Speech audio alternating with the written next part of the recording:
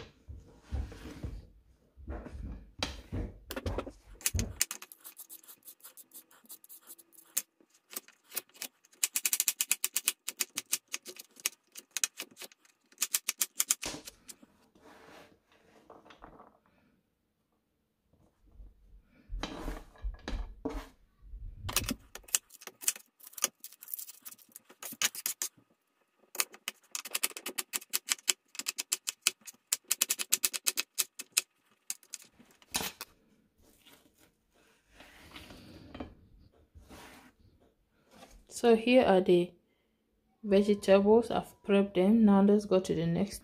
So i'm just going to open the noodle and put it in the pot of my boiling water. We'll be using the seasoning the seasoning from the noodle. That is why i will not show you any seasoning. So i'm just going to put them in the fire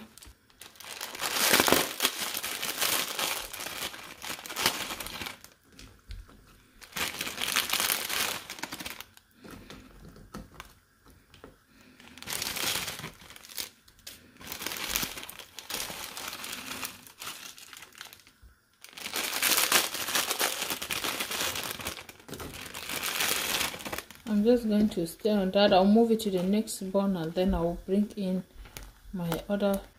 So I'll let this heat up.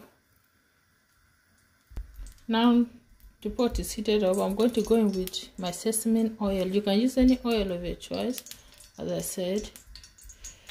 Well, as I always say in my other video, I'll let that heat up a bit too. The first thing I'm going to go in with is the onions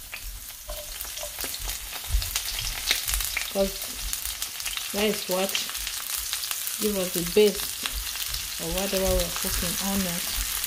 Stay on that until it is translucent. The version of noodle, okay? You just want to go ahead and add your carrot.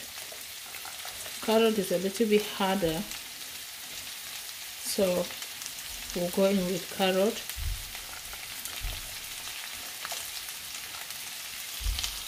And then I'm going to keep stirring on that. Stir on the carrot for about 30 to 40 seconds. Then I'm going to go in with my prawn and I'll keep stirring on that. The prawn is pre-cooked already so it won't take long for it to cook. At this point I'm going to also season it I'll use one of the seasoning because the prawn need to soak in some of that. So I'm just going to season. By now your noodle should be okay so just set it aside. And that's what I'm doing. I'll just stir on this. This basically stir fry. Stir it on high heat or medium. So now we'll, go, we'll let this cook down so now the next thing is I'll go in with my cabbage and then I'll add one more seasoning one of the noodle seasoning okay? Just keep adjusting your ingredients as they go on cooking. You don't want to put everything at once. I'll keep stirring on it.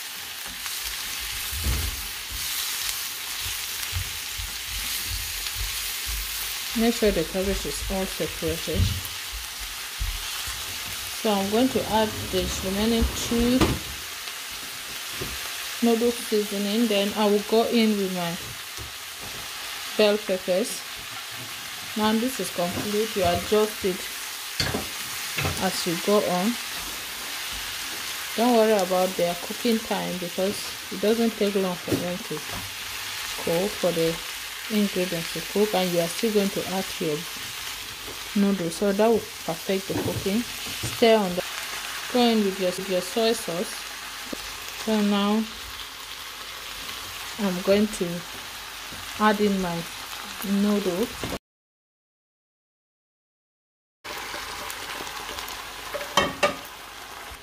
Once I've added the noodle I'm going to begin to stir on that